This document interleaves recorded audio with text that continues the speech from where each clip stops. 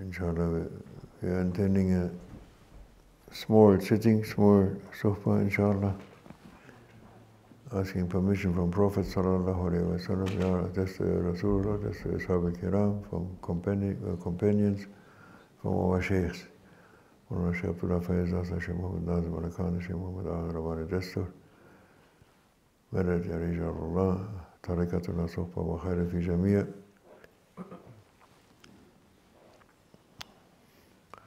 Wir bitten um Beistand für eine kleine Sitzung, inshallah. Und äh, um Erlaubnis vom Propheten, wasallam, seinen Gefährten und unseren Sheikhs, Mulana Sheikh Abdullah Faizaz, Sheikh Muhammad Nazim, Mulakana Sheikh Muhammad al-Rabani, bitten um Medet, Unterstützung und sagen Tariqat al-Sohba wa Khair fi Jamia.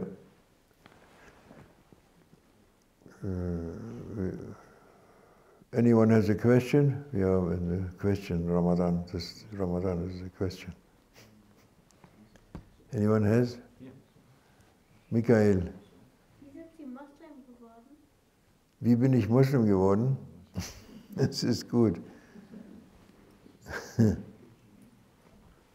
Uh, he's asking how I became Muslim. And I'm saying I'm not yet Muslim. I try to be Muslim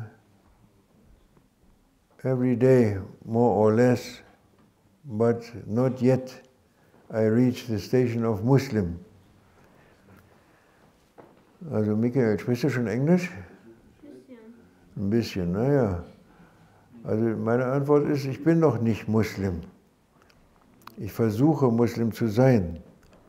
Jeden Tag ist eine neue, neue Aufgabe für mich, neue Herausforderung, neue,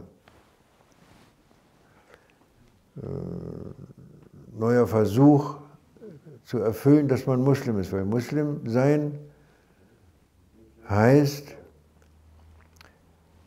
äh, sich dem Willen Allahs, dem Willen Gottes, dem Willen Allahs zu ergeben. Also ergeben heißt hinzugeben. Das heißt, seinen Willen zu lassen, seinen Eigenwillen, den sogenannten Eigenwillen, den jeder Mensch hat. Jeder hat so einen kleinen Karl, sagen wir mal, oder irgendwie, wie soll man den nennen? So ein Ego, sagt man. Dein Vater kann dir das erklären. Er hat sowas drin, der, der will machen, was er will. Ja, da ist etwas drin, eine Stimme in uns, die will machen, was wir wollen, was, ich, was wir wollen, was ich will. Nicht, was Allah will. Was Allah will, das gefällt mir manchmal gar nicht, überhaupt nicht. Mir, meinem Ego sozusagen. Ja. Deswegen ist, muss man immer sich hingeben, dem Willen. Was Allah will, musst du machen. Ja. Wenn Fastenzeit ist zum Beispiel, musst du fasten als Muslim. Aber mein Ego will gar nicht fasten. Ich, ich möchte Eis essen, jetzt gerade. So die, die, den Wunsch, ein richtiges schönes äh, Schwarzwälder Kirsch, äh, Erdbeer und Kirscheis zu essen jetzt. Ja, das ist so das. Aber nee. Und dann äh, ist, der, ist ein Kampf. Ja. Soll ich jetzt das Eis essen oder soll ich jetzt auf Allah hören? So geht es im Leben mit vielen, vielen Dingen hin und her. Deswegen erzähle ich euch auch die Geschichte von Großscheich. Das ist ein ganz großer Scheich, ein großer Heiliger, ein, ein König der Heiligen, Sultan al-Awliya, Maulana Sheikh Abdullah Faiz Darastani, war der Scheich von Sheikh Nazim, von unserem Scheich der Scheich. Ein großer Heiliger, der immer den Propheten gesehen hat im Wachzustand, ständig, immer den Propheten gesehen. Ja, das ist eine sehr, sehr hohe Stufe. Und der ist mit dem Zug, der hat in Syrien gelebt und ist mit dem Zug gefahren von Aleppo nach Damaskus. Und irgendwie im Zug, da war ein Verrückter, sagen wir mal. Also Majzub, der war nicht verrückt, nicht ganz verrückt, der war Majzub. Majzub heißt trunken mit der Liebe Allahs. Ja, man kann auch sich betrinken, nicht nur vom Alkohol, sondern man kann sich auch betrinken von der Liebe Allahs. Der war trunken von der Liebe Allahs.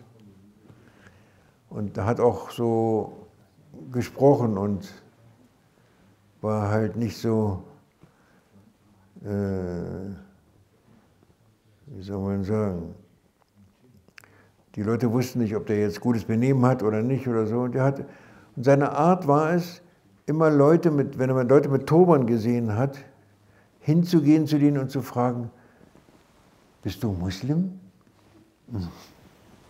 Die hatten Turban auf, die ganzen Sheikhs und die Ulemas, die da auch gereist sind und so im Zug. Bist du Muslim? Und dann waren die immer ganz wütend.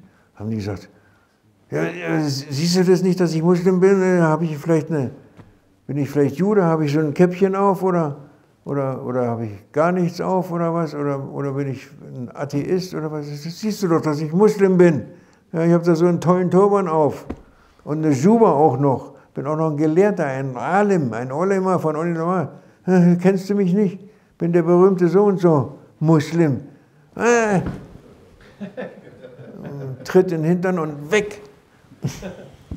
so hat er immer die Leute gefragt. Das war, das war so seine Macke. Und dann hat er eines Tages saß Großscheich im Zug. Der hat auch einen schönen, bisschen wilderen, nicht so einen abgemessenen Turban, aber einen schönen Turban auf. Und der Majzub sieht ihn und geht hin und sagt, bist du Muslim? Und der Großscheich sagt, oh mein Sohn, ich versuche schon mein ganzes Leben lang Muslim zu sein. Und ich hoffe eines Tages, dass ich Muslim sein werde. Da war er schon an die 100 Jahre. Sultan al-Awliya. Das war seine Antwort. Ja, der war noch, auch der Großscheich, der schon ein Heiliger war, hat nicht gesagt, ich bin Muslim. Ich versuche Muslim zu sein und inshallah werde ich es erreichen. Und der war nicht blöde, der Majzub. Der hat dann gesagt, bist du Naqshbandi? bist du Naqshbandi, Naqshbandi, Sheikh? Und dann sagt der Großscheich, oh mein Sohn, ich versuche, ich suche schon das Naksh, suche ich schon mein Leben lang, das Naksh im Herzen. Ja, das suche ich schon. Ich versuche schon mein Leben lang Naqshbandi zu sein. Und inshallah auch das hoffe ich eines Tages zu erreichen. Das war die Antwort von Großscheich Pakistani. There was uh, a story for that subject is uh, which shows everything is uh, Grand Sheikh Abdullah Faiz Daghestani. He was uh, going by train he was living in, in, in Damascus and he was in Aleppo, visiting Aleppo. He, he came back with a train from Aleppo to Damascus. And, and uh, there was a majzub, uh, a person who is drunken by the love of Allah. And according to that drunkenness, he is behaving also. And he had the habit to go to people to look, anyone sitting there with turban, he went to him and said, are you Muslim? And they were very angry. They said, they were also alims. They had juba and this nice turban, you know, every millimeter is, you know, they have a, they have a pot. There's a. I saw how they do it. They, they're not making like Maulana Sheikh Nazim, you know, like this. they have a pot and then they put uh, uh, something on it and then they go around so it's every, millimeter is a turban, you know, is perfect. Sitting there and there's a juba, Majzub coming, are you Muslim? He says, what do you think I am? I have turban on. go away, you idiot. I am Alim, a famous Alim. What are you asking? And everyone saying, don't you see that I'm a, I'm a Muslim? Look, my turban. No, I have turban. He went to people with turban. Make them angry. One day, Grand Sheikh is sitting there, going in the train. He is going to Grand Sheikh, uh, he is also nice turban, not so, not this one, but the other one. and he's asking, uh, coming to him and saying, Are you Muslim? Grand Sheikh saying, Oh, my son, I try to be Muslim all my life. I'm trying to be Muslim. Not yet, but I hope one day I will be Muslim. I hope so. He was already maybe 100 or a little bit less than 100. And Sultan al Awliya, king of saints, saying this to the Majzub. And the Majzub, he was not, he was clever, he was, he knew something. They are sometimes very clever, they know. So he said the second when he heard this answer, he said, Are you Naqshbandi? and Grand Sheikh said, uh, Oh my son, I'm looking for that Naqsh all my life. I am, I have longing for that Naqsh, but inshallah, and I hope to find it also in, during my life to be a Naqshbandi, to find this Naqsh in my heart. There's a Naqsh. Naqsh is an imprint. It's an imprint, the imprint of Allah. It is written on your heart, Allah. There's a stamp, a Naqsh. That is what we have to find. And he said, I have to find it, and I, I hope to find it. This was the answer from Sultan al-Awliya, Grand Sheikh Abdullah Faiz to the Majzub not being angry and kicking him away. yes. Michael, you understand? Hast verstanden? Ja? Good. MashaAllah.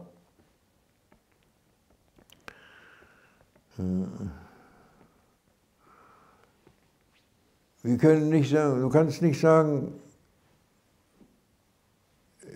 ja, du kannst schon, doch, man kann die Frage auch so beantworten.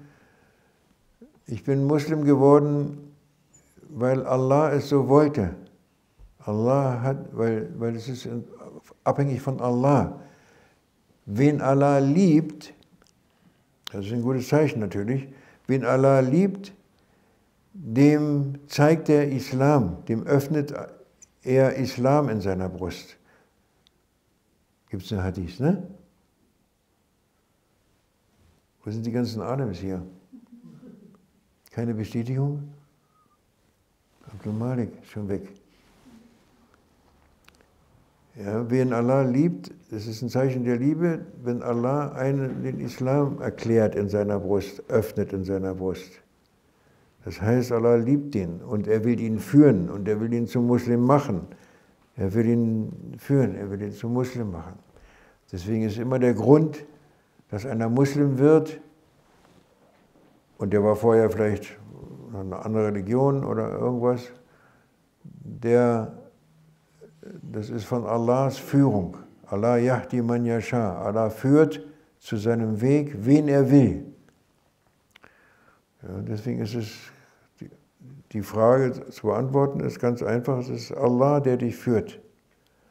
Wenn du Muslim wirst, dann ist es Allah. Es ist warum bist du oder wie bist du und wie, wie ist eine andere Sache. Allah hat alle Mittel, jemanden zum Muslim zu machen, alles Mögliche. Er schickt dann äußerliche Mittel, äußerliche Mittel, um Muslim zu werden. Zum Beispiel viele werden Muslim, weil sie einen, einen Muslimpartner heiraten. Ja, dann werden die auch Muslim. Tausend Gründe gibt es. Ja, die schickt Allah, diese Gründe schickt Allah. Das nennt man Zweitgründe sogenannte Zweitgründe, mit denen wir meistens beschäftigt sind. Aber es gibt eigentlich nicht wirklich Zweitgründe. Es gibt einen Grund. Ein Grund. Es ist Allah. Alles macht Allah. Gute und schlechte Sachen, dies, das, alles. Führung, alles von Allah. Die Mittel, die wir hier erleben, die Mittel, das sind die Mittel, die er benutzt, um zu führen, um seinen Willen zu manifestieren. Ja, das ist Deswegen kann man nie sagen, Ja, das habe ich gemacht. Dann haben sie, haben, haben sie uns interviewt.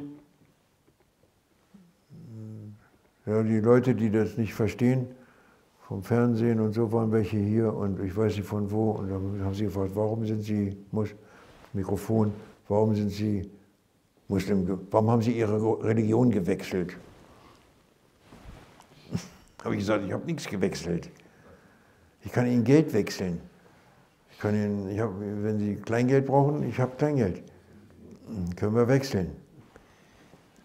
Aber Religion kann man nicht wechseln. Religion ist der Weg zu Allah, zu Gott. Den kann man nur vervollkommnen. Den kannst du nur vervollkommnen. Wenn du vom Christentum zum Islam gehst, dann vervollkommnest du deine Religion. Wenn du von irgendeinem anderen Weg zum Din al-Islam kommst, dann vervollkommnest du deinen Weg, deine Religion. Das ist eine Vervollkommnung. Ein Geschenk Allahs wiederum und eine Führung von Allah. Das ist eine Vervollkommnung ja, deines Weges. Weil jeder ist auf dem Weg, egal wo der steht und was der hat und wie er sich nennt. Das ist ganz egal. Der ist auf dem Weg, auf jeden Fall auf dem Weg zu Allah. Der kommt von Allah und geht zu Allah. Weil wie der sich bezeichnet, was er denkt, was er ist, spielt keine Rolle. Einmal waren wir mal auf einem Konzert in München mit, mit Sheikh Jamaluddin war auch dabei. Haben wir, so, wir haben ja mal Konzerte gemacht, mal so 25 Jahre lang, sogenannte Konzerte. Einer wollte seine Karte zurückhaben, weil er hat gesagt, es war kein Konzert, das war, das war Dauer, das war sie das war religiös. war mal in München und dann nach der Vorstellung, nach dem Konzert, kam ein, ein berührter Münchner, ein Bayer zu uns, voller Tränen, Tränen überströmt, berührt bis zum geht nicht mehr und sagt zu uns, oh, Sie haben mich so berührt, ich weiß gar nicht, was mit mir ist. Und, hat so, und dann hat er gesagt, aber ich muss euch leider sagen, ich bin Atheist. Und Sheikh, und Sheikh Jamaluddin stand da gerade daneben und hat wie aus der Pistole geschossen direkt geantwortet, macht nichts, Gott ist auch Atheist. Der einzige erlaubte legitime Atheist ist Gott. Allah. Allah is auch Atheist. There was a story, we went to, for a concert in uh, Munich, we make always Sufi concerts, like, you know, to sing with the people, La ilaha illallah. Because the Prophet said, if anyone saying La ilaha illallah even once in his lifetime, he is saved. He is saved. And they sang with us La ilaha. So many people, they didn't know what it is, but they sang with us. And we make one concert in Munich, with Sheikh Jamaluddin was there also. And after the concert coming a man, he was crying and he was so touched and he was coming to us and he said, oh, you touched my heart and uh, was crying and then he said, in the end he said, but I must confess that I am an atheist. I am atheist. And Sheikh Jamaluddin quickly he, he said, don't worry, Allah is also atheist. yes, the only legitimate atheist is Allah, no God. He says there is no God, yes, except me. It's okay. Was haben wir davor gesagt? Was wir noch nicht auf Englisch gesagt haben? Äh, äh, was war das? There is many ways, many ways how you come to Islam, there is many ways. But mainly it is, or only it is Allah's wish, Allah's guidance. Only Allah guides. He sends reasons for you to accept Islam. Because we are with reasons, we are human beings, we are in our form, we need reasons, we need, wie sagt man, Mittel, Mittel? Huh? Means. Means, we need, we need means to, to, re, to move and to Uh, so that the will of Allah Almighty will manifest, it is through means. through our bodies, through means, through the relations. Some people they get Muslim because they marry a Muslim partner. Some, they are, I know one in Texas. He he was in Texas alone. There no there was no one. Absolutely countryside, but he read a book about Islam and he was convinced about this. So he said, and he saw a Hajj, and he said, "Okay, I go to Hajj." I met him in Ankara, where I was printing the book, the, the second book from Sheikh Nazim. And this man, I met him in the mosque, uh, American Texas. Why you come? Yeah, I, I read the book and I'm on my way to Hajj. I said, come with me, you can live in my flat, our flat.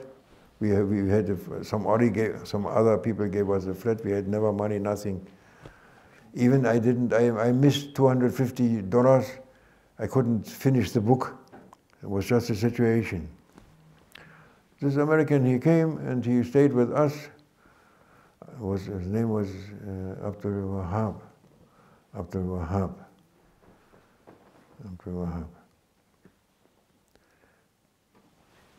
And then he, in the end, he left and he gave me a gift of $250, what I needed for the, to finish the book. This is what Allah, who is doing this? if you ask, who? Who is doing this? Who? Allah, who? He is doing this and he uses as he likes. And then we said that Allah loves someone. If Allah loves someone, He explains to him or He opens for him in his chest Islam or He makes him to love Islam. That means that Allah loves you. Because Islam is the way of Allah, from Allah, through Allah, to Allah. He loves it. He says, Inna dina under Allah al Islam. I perfected my perfect my my favors to you, O mankind. I perfected it now. With my Habib, now I am perfecting. There are so many religions before, so many ways, so many Yes, and all of them, they went wrong afterwards. Now I, my Habib is coming, who I created first. I, he is coming last to close the circle of prophethood, the seal of prophet, sallallahu alayhi wasallam, khatam al-nabiyyin. With, with this, with him, I perfect my grant to you, my favors to you. If Allah says perfect, it is perfect. It is full moon. It's a, it's a circle. Cannot be circular. A circle is a circle. Can be circular? You have a, uh, no. Circle is a circle. It's perfect. So he gave us a perfection. It's his way. If he leads someone on his way, means he loves him. He loves him. You are beloved. Anyone who is a Muslim, if he became Muslim later or born Muslim, doesn't matter. You, you, you are beloved by Allah Almighty to be in the Ummah and honored. And you have to look for the, this is a certain, what we said before, is a certain attitude. You must not say, I am Muslim and don't have to do anything. No, you have to do something. You must get rid of your bad qualities. That is the reason of your life. And Muslim, to be Muslim means that, means to get rid of your ego desires, of your ego will, your own will. You, you must not have an own will. If you have an own will, it is shirk over hobbies. It, this is shirk. This is the real shirk. The shirk khafi. Yes, this is called shirk khafi. It's shirk behind the curtain, the, the hidden, the hidden shirk. Everyone who is in ego he has a hidden shirk, he has a partner. He says, Ya Allah, I believe in you, I am Muslim, but now at the mo- for, for two hours now I am with my nafs. Maybe I come back later, maybe. Or shaitan leads me even more away. Yes, be careful. The medicine for this is not to be proud, as we said in the khutbah also. Must not be proud and don't say anything that you did it. May Allah help us, inshallah, to keep awake and to be thankful. One of the best methods is to be thankful. Sheikh Muhammad was saying today also. Thankfulness, yeah, be thankful. Thankful prevents to be proud. You know, if you always think, think and think. Think and think is very near. Think, think. Think, think haben die auch jetzt in modernen. Think, think. I think I'm etymologist. Hobby, hobby, hobby etymologist. I think, I think, think comes from think. There was first think, then coming, coming think. It's more or less the same. May Allah give us insight and good understanding. And we are thanking Allah Almighty and thanking Rasulullah and thanking Ahl Bayt and thanking Ashab al-Kiram and thanking awliyas, all of them, and thanking all prophets and uh, thanking all good brothers, all believers, all people who help us, everyone. We, we are thanking and saying Alhamdulillah Rabbil Alameen Al-Fatiha.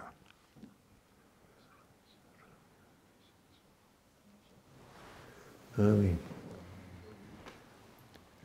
Takawalallah. Gute Frage, Michael. Deine Baraka.